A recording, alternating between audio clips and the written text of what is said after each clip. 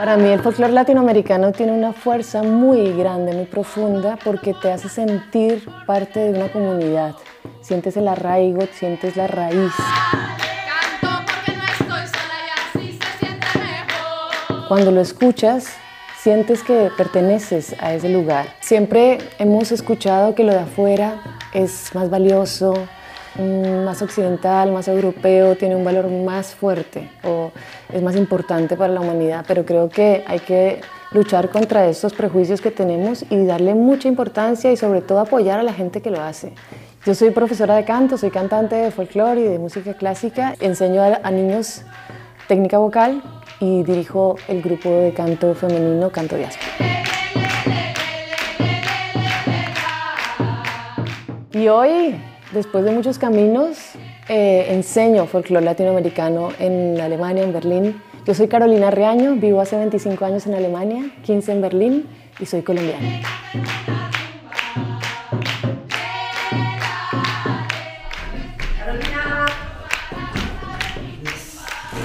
Carolina. Hola. ¿Cómo estás? Bienvenida. Programón, espero.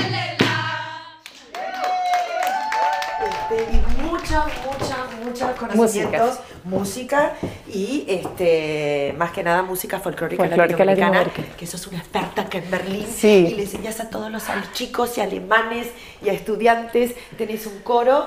Y Tengo este- un coro. Te, te- te presento mi templo, el lugar donde estudio mi música, donde enseño también Sí. y donde soy Y muy donde- feliz. Y donde están todos los instrumentos tan autóctonos nuestros. ajá.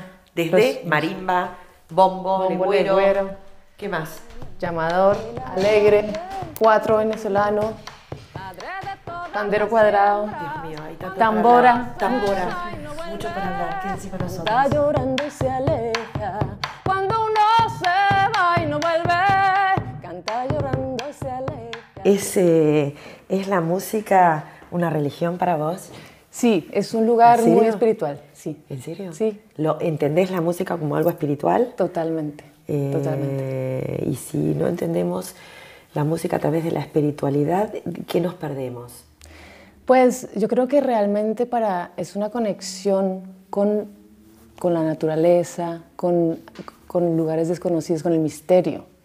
Entonces, bueno, en mi caso yo encuentro ese lugar en la música Mm, y creo que es una gran oportunidad para todo el mundo entrar a ese lugar. Profesora de canto, Pues soy profesora de canto. colombiana. Sí. Hace mil años que vivís en Berlín. 1500. 1500, que me falta, que 1500, 1500, 1500, son 3000 años ya nosotras. No, pero lo que quiero decir que la diferencia, vos sos una gran experta en música fo- folclórica de Latinoamérica. Yo creo que el folclore nos une, Sí. nos une nuestro continente. Eh, ¿Qué es el folclore para vos? Para mí es el origen, es la conexión con, con la tierra, la conexión con nuestros ancestros, es como el reforzar tu identidad, Sí. es todo esto. Está bien. Y vos, eh, eso, eso por ejemplo, vos, profesora de canto, ¿no? Eh, trabajás, eh, pero con instrumentos folclóricos. Sí, no solamente, No. no, porque yo tengo una doble vida. Ay, ay, me encanta. Es decir, yo trabajo con el folclore y lo transmito. Yo me podría ahora que se usa la palabra facilitadora de folclore Sí. en Berlín para las, para bueno, tengo grupos de, de, de canto tradicional o de, de- de canto de tradición oral, Sí. sí, Eh, de comunidad. ¿No? Entonces tengo mi grupo que se llama Canto Diáspora, que eso es solo para mujeres y que base de el folclore latinoamericano. Qué ¿no? loco, qué Exacto. loco. Esa Y- es una vida. Y la otra vida, y la otra vida. En mi otra vida yo soy profesora de técnica vocal de canto lírico. Y está bien. Eh, esto lo hago en el piano tradicional y les enseño en alemán. A, a los chicos, o en a el colegio. Exactamente. Yo doy clases para un bachillerato musical Sí. Que quiere decir los chicos se gradúan con énfasis en música. Casi muchos de ellos siguen la carrera de música profesional. Sí. Y este colegio donde yo trabajo tiene tres coros que son de competencia. O sea, Entonces estos chicos brutales. tienen que, exacto, y tenemos y en este colegio hay algunos, o sea, ten- tiene unos eh, profesores de técnica vocal que se cuidan la salud vocal de los alumnos. Qué cosa. ¿eh? Entonces ahí yo estoy trabajando desde hace uf, seis años, siete años. ¿Y qué les enseñas a los chicos? Técnica. Mucha gente va a querer saber cómo esta maravillosa colombiana, profesora de canto, profesora de folclore, cómo enseñás en un bachillerato este, alemán con, este, con, Énfasis con en énfasis en música. Sí, sí, sí. Este, bueno, yo, yo llegué a Alemania a estudiar canto lírico Sí. y por eso tengo esas bases fuertes de la música clásica y sobre todo de la técnica vocal, ¿no? Y realmente a mí me- eso lo he podido transmitir también al folclore, porque yo, eh, para mucha gente piensa, bueno, pero el folclore no necesita técnica, pero si tú escuchas a las personas que, can- que tocan folclore en sus países, no usan micrófono, están todo el tiempo eh, Sí. tocando con tambores Sí. y para eso se necesita una técnica que realmente ellos lo están trabajando desde que son pequeños, están cantando. ¿Qué les enseñas a los chicos en A el los chicos, bachillerato? o sea, en Alemania. Eso es- se llama técnica vocal, quiere A decir ver. gimnasia. Gimnasia vocal. A ver, por Entonces ejemplo. yo te pongo a cantar. Sí. Y tú repites. Sí, le digo, por favor, abre un poco más, relaja la mandíbula, eh, atención al diafragma, eh, respira eh, fluidamente, un montón de cosas. O sea, es, es pura. es- entre anatomía, gimnasia interna, porque la voz no es un instrumento como el piano, que tú ves los dedos y puedes corregirle al alumno si está subiendo, bajando, haciendo las cosas. Está bien. eh, eh, la es. educación, la educación este, musical aquí en Alemania Sí. es, es diferente a lo que nosotros, por ejemplo, conocemos. Vos que estás Em. trabajando en un bachillerato con énfasis en, en música, donde vos decís que ya los profesores les cuidan las cuerdas vocales a los, Claro. a los chicos. O sea. ¿cuánto profesionalismo hay en un bachillerato con énfasis en música? mucho, mucho. O sea, realmente se la toman muy en serio. Yo tengo que decir que, bueno, este colegio tiene, eh, tiene, pues sí, se van de competencia mucho. Entonces tienen un nivel muy alto musical. Y, y para cuidar la voz, voz de los niños les exigen a los padres que los niños tengan clásicas de técnica vocal, ya sea en la escuela o fuera de la escuela. Entonces, creo que lo hacen, sí, para cuidar la voz. Yo cuando empecé a estudiar canto en Colombia, Sí. En el conservatorio Sí. no te dejaban estudiar canto hasta los 16 años, hasta que se desarrolla todo el cuerpo. Y aquí estos niños están cantando desde mucho más temprano. Entonces hay que acompañarlos en la transición del, del cambio de voz en los niños eh, varones, por ejemplo, que se llama una mutación, cuando cambia la voz. Y bueno, es, hay, que- hay que cuidarlos. Este, es diferente, obviamente, porque yo, yo por lo menos en Colombia no conozco ningún lugar donde haya un colegio específico para niños cantores. No, o sea, creo que es una tradición muy europea también. Eh, ¿Se entiende la música diferente? Sí, totalmente, totalmente. ¿Puedes explicar cómo se Mira. entiende la música acá? Es que para mí es muy interesante en serio trabajar en estos dos mundos porque yo me doy cuenta que nosotros entendemos mucho la música desde el cuerpo. Nosotros estamos muy acostumbrados a lo corporal. Claro que desde, sí. desde pequeños tenemos contacto corporal con, con toda la familia, todo es toque, toque, toque, o sea, es mucho, muy corporal. Entonces creo que también la música entra también por el cuerpo. ¿Y acá? Aquí por el oído nomás. Entonces, para muchos, o sea, muchas, lo que yo siento que, me, que, que les cuesta es integrar el cuerpo en la música. Y eso nosotros lo tenemos muy, muy adentro, pues porque se baila mucho, porque se abraza más, porque la gente es muy expresiva cuando habla, Sí, todas háblame esas un poco de cosas. folclore. Bueno, hablamos Bueno. un poco de cómo es la diferencia entre la musicalidad en el Para colegio. mí, sí. Claro. Eh, ¿Qué tenemos? ¿Qué tenemos acá? En el Bueno, templo. en mi un- templo. En tu templo. Bueno, yo em, desde que empecé a, a- a investigar mucho más sobre el folclore, Folclore. Sí, pu- pues su- sucedieron cosas y fue que yo por, por, por cosas del destino terminé yendo a Colombia a trabajar en un proyecto que, em, que unía las artes con el ambientalismo. Uy. ¿sí? Y me llevaron a unas zonas de Colombia que fueron muy, muy damnificadas por la guerra, que fueron, bueno, la guerra Conflicto que siempre, armado. conflicto armado, y la idea era ir a proteger las áreas que ya estaban descuidadas, es decir, una de las pocas ventajas del conflicto armado fue que muchas zonas estuvieron protegidas por mucho tiempo, Sí. porque solamente entraban, entraban los, los, los grupos armados a esas zonas. Cuando se empezó a desmovilizar, esas zonas quedaron muy expuestas Sí. y entonces, bueno, nos fuimos a un lugar que es el Urabá antioqueño, que es cuando termina Panamá subiendo para el Caribe, esa es la zona donde empieza el bullerengue.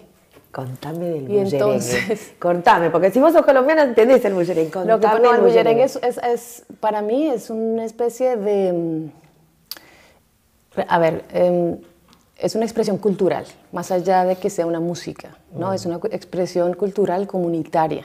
Entonces, toda la comunidad se une a bailar, a cantar y a tocar los instrumentos y eso puede durar mucho tiempo.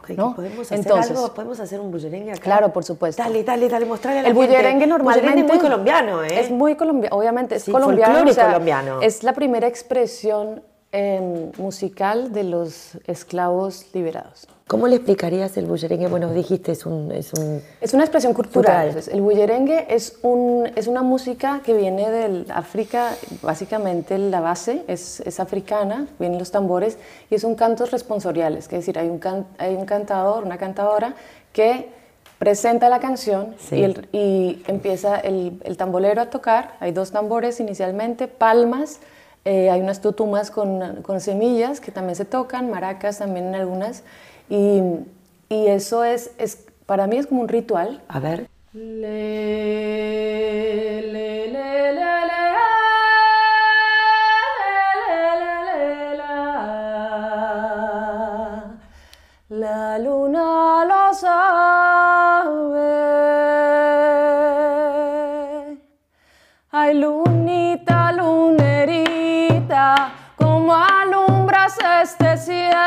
Lord.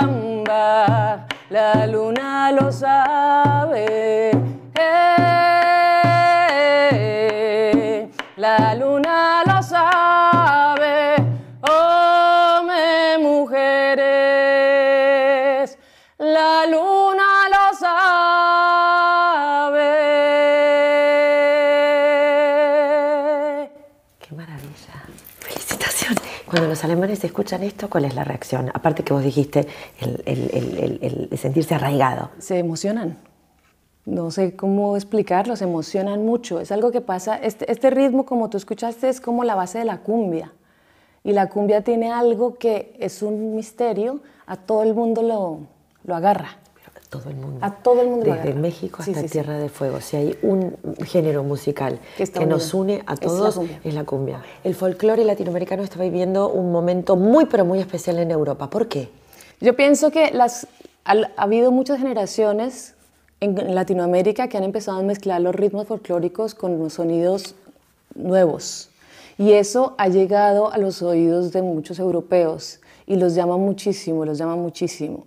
Y hay ahorita una, por lo menos en Colombia, hay, hay turismo increíble. Musical. Musical. O sea, la gente va a escuchar la música original al pueblo de Palenque, por ejemplo, eh, San Basilio de Palenque, que es el primer pueblo libre de América de esclavos. eh, La gente va, ahorita hay turismo allá. Y si tenés que elegir entre el Caribe colombiano y el, el Pacífico, que a ver, señores, escuchemos. Entro, entro en un conflicto. Y claro tremendo, que sí. Y la pregunta es porque por ahí mucha gente no sabe por qué yo te estoy haciendo esta pregunta. Sí.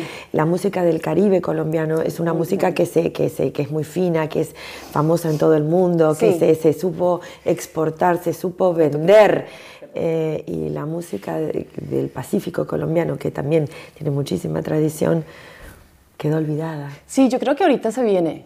Yo creo que la, música del Pacífico es la que se viene ahora a, conocer. La música del Pacífico tiene una cualidad muy hermosa y es que es como, no, no tiene, em, et- tiene como una nostalgia adentro, tiene otro, otro, otra cadencia y es una cadencia mucho más arrulladora. ¿Tenés Es, algún este, ejemplo? em, sí, lo que pasa es que yo no, bueno, A ver. Ya está, estás du- No, a ver, te, te- te ayudo, ¿qué? No, no, no, no. Podría tocar con el bombo. Con el bombo. Con el. Con el, este es el bombo argentino. Sí, que es una- Dale. este instrumento- Este también lo utilizás, ¿no? Para tus Este- clases de, de canto Yo y de... Este instrumento es lo máximo que existe. Para mí, eh, yo descubrí dos instrumentos en la pandemia para aprender, que fueron el bombo legüero, El bombo legüero, es es argentino. solo argentino y lo tuve que traer de Argentina. No puedes, es que mira, a mí me parece fascinante que los instrumentos de nuestros países solamente se consiga la calidad del instrumento en el país. ¿Por qué? Porque este es el árbol, este árbol no lo vas a conseguir en el norte de, de, de Sudamérica, o sea, en Colombia. No. No, este- Eh, el 4, si lo mandas a hacer en otro lugar, también es un instrumento tradicional de los llanos y ¿Y Colombia. qué, qué te gusta del bombo legüero? Esto. El bajo. Es, es- lo que pasa es que eh, la, bueno, la música del sur de Argentina tiene un, tiene un alma impresionante. O sea, eh, solo el escuchar el... Esto, eso me parece... Es muy mística también. Es muy místico esto. Y en la música del Pacífico de Colombia también se usa un bombo, pero es el, es el bombo de allá. A ver, mm.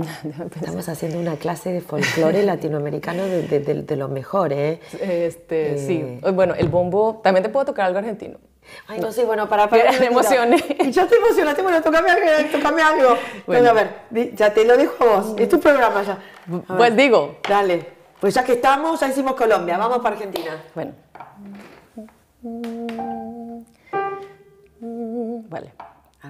A ver. Arenosa, arenosita, mi tierra cafayateña, el que bebe de su vino, gana sueño y pierde pena.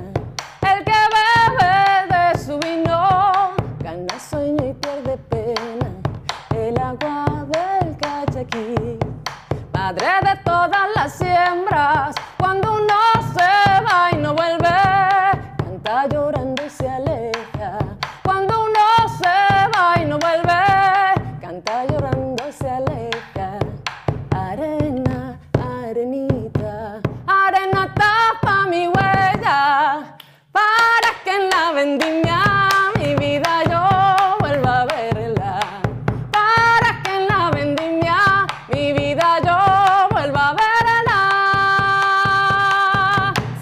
Bueno, aquí tenemos el alegre, que es el instrumento principal del bullerengue y de la, y de la cumbia y de la música de gaita de Colombia. Es, es el, el solista, ¿no? Así como la marimba en el Pacífico, el alegre es el que hace el repique, el que...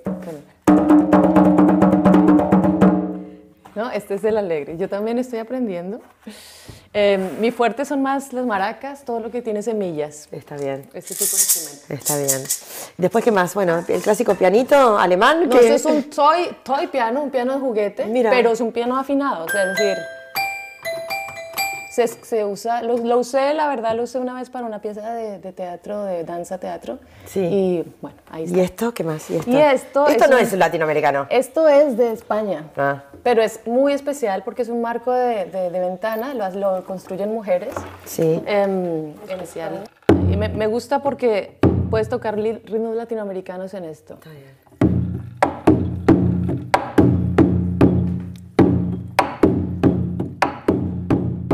Cuando viene, por ejemplo, alguien, al- algún, algún alemán, y te, y te dice, ¿y dónde yo tendría que empezar con el folclore para entender Latinoamérica? ¿A qué país lo mandas? A Colombia.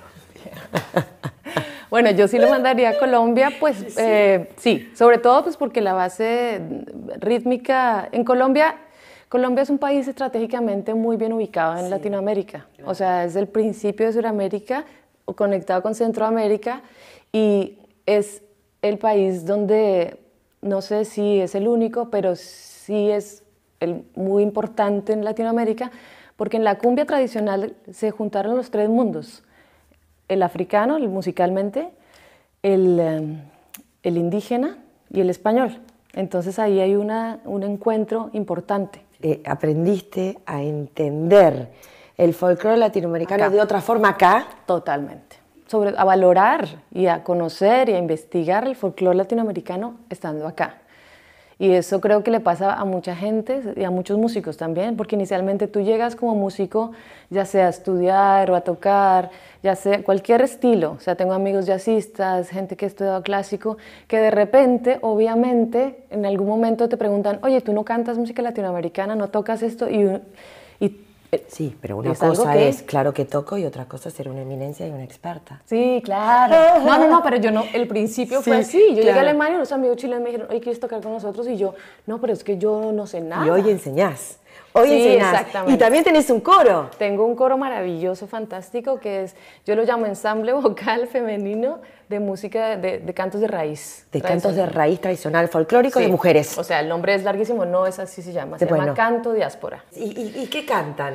En el grupo de, canto colectivo femenino cantamos eh, canciones, música de tradición oral. Casi todos son cantos responsoriales de diferentes culturas, desde, desde la andina, eh, desde el sur de América hasta pasamos por Venezuela, cantamos eh, mucho afrocolombiano del Pacífico y del, Caribe y e, esa es la base. Y no hay partitura, nadie aprende, es tradición oral. ¡Qué loco! Y, y todos a través de la repetición, del cuerpo, no necesitas saber cantar. ¿Y quién va al coro? Van mujeres maravillosas, o sea, tengo ahora más o menos 30 mujeres que, encontraron en ese lugar un espacio que es como lo que te decía el bullerengue, ya no es solamente la música, es una expresión cultural y casi que comunitaria donde encuentras un lugar donde te sientes libre. libre porque además somos migrantes, estamos libres de hablar nuestro idioma, de cantar en nuestro idioma. Esa era mi pregunta, Exacto. o sea, tienes que saber español para estar en el coro. Sí, pero en el coro hay muchas mujeres, tengo como cinco mujeres italianas, alemanas, eh, que españolas que tienen mucho interés por la música latinoamericana y que dominan la lengua, obviamente, eh, y que hacen parte de nuestro coro desde el principio.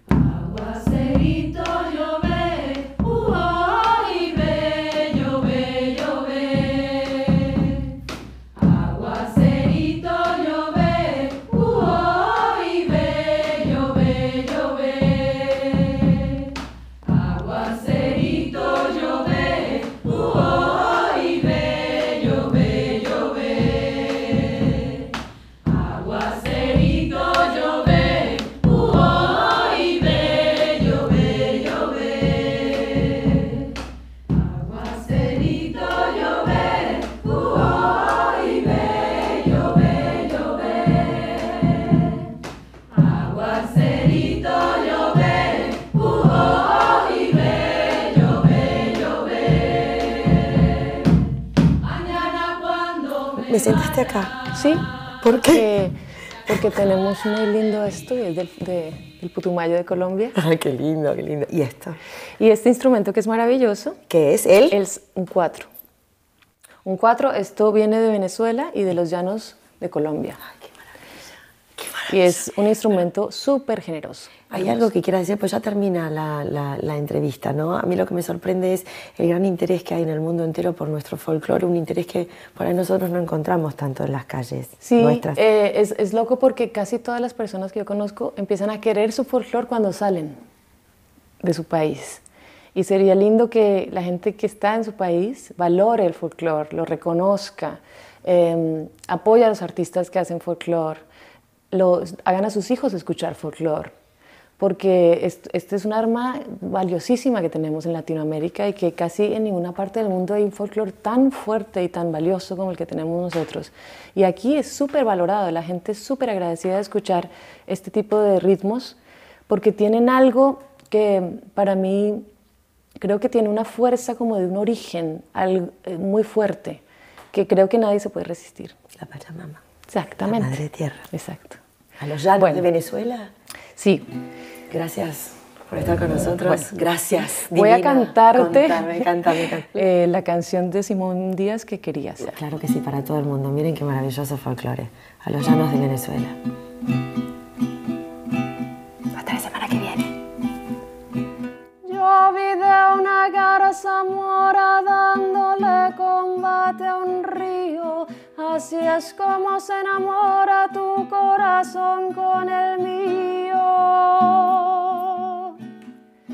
Yo vi de una garza mora dándole combate a un río. Así es como se enamora.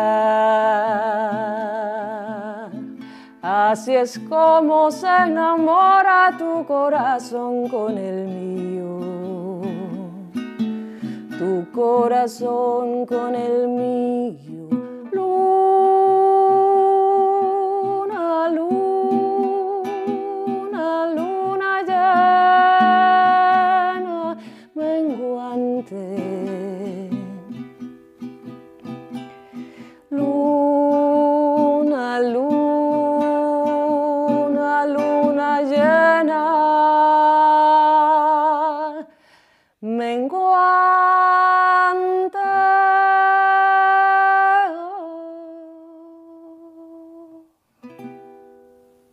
Aplauso, señoras y señores. Quedó, quedó, quedó, quedó, quedó.